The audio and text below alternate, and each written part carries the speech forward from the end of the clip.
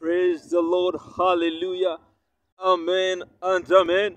My name is Caesar. I want to welcome you to our channel on this lovely day. Our God has been so good to us.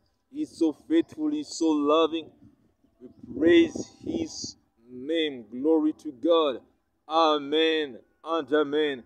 Uh, if you're here for the first time, I want to welcome you to our channel and uh, to subscribe uh, and join us as we grow in the Lord. Hallelujah. Amen. And to our returning viewers, we want to say a big, big thank you. Thank you for always coming back to watch us every day and to fellowship with us. Hallelujah. Amen. And to everyone else, we can watch all our advertisements because when we do that, you are helping us to advance the kingdom of God, as the Bible says in Matthew chapter 11 and verse 12. Since the days of John the Baptist, these were the words of Jesus. The kingdom is forcefully advancing, and forceful men are taking hold of it. Praise be to God. Glory to God. And today we are in the book of Acts, chapter 7. We are continuing, uh, we are continuing uh, with, uh, we continue with uh, the story of Stephen.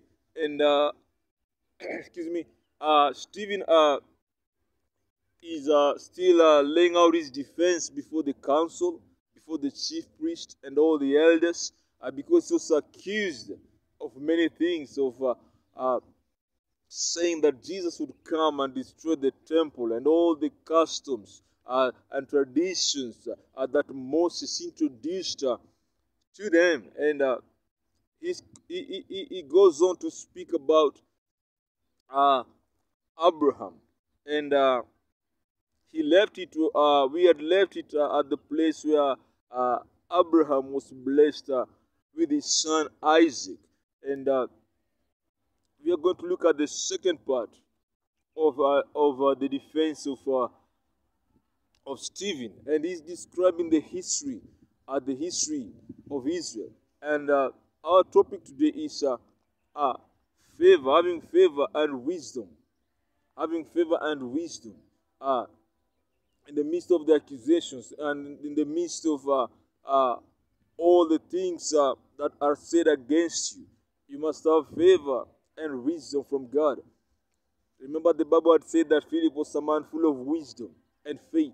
And uh, he wants to, describe to us Joseph. He wants to describe to us Joseph. And uh, from verse number 8 uh, of Acts chapter 7, uh, the Bible says that uh,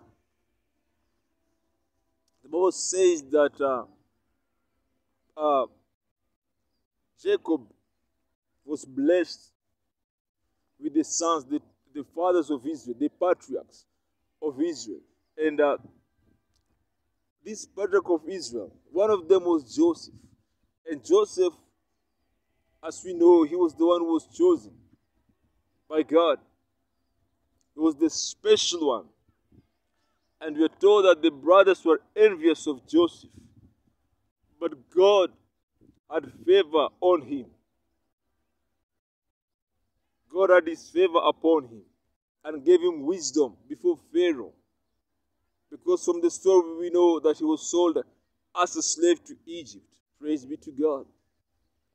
But he found favor and wisdom from God. That is in verse number 10 of Acts chapter 7. He found favor and wisdom from God before Pharaoh.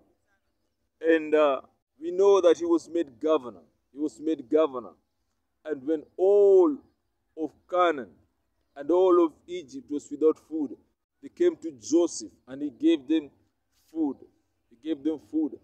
And uh, Stephen describes how at the second time the fathers of Israel, the patriarchs, got to know Joseph, who Joseph was. And Joseph had to call all his family to himself. Praise be to God. Amen. And this is a reminder to us. This is a reminder to us. As I said earlier, we need the favor of God. We need the wisdom from God to be made a governor, to be made a governor, to be made uh, to be made someone in authority, to, to, to, have authority, to, to have uh, a responsibility uh, uh, put upon you. you. You need wisdom, you need favor from God. It is not easy to be a leader of people, to be a leader of an organization or a business. You need favor and wisdom. And uh, this is these are just uh, uh, two of leadership qualities that we need not only uh, to be a manager, but also to be a leader of your own self, to be a person who can lead your own self, someone who can be reliable and be uh, and people can look upon you for direction. Because uh, in those days, our Pharaoh asked, Is there any other person suitable for this job? Is there any other person suitable for this job more than you, Joseph? Praise be to God. Therefore, we need favor from God. We need wisdom from God. And the world is in need of leaders, godly leaders, men and women who will rise up full of faith, full of wisdom, full of understanding to show the way.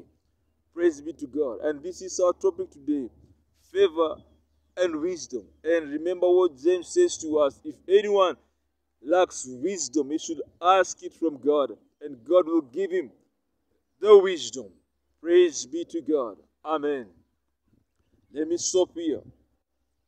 We shall pick it up next time from the book of Acts, uh, Acts chapter 7 and verse number 17. A very powerful reading, a very powerful reading concerning the promise, the time when the promise when the time of the promise had come. Verse number 17, we shall read it next time. Be sure to join us next time as we read from the book of Acts. God bless you. Take good care of yourself. Remember to watch all our advertisements. Remember to subscribe and share this video with your friends. And God will bless you. Bye bye. The Lord bless you and the Lord keep you. Amen.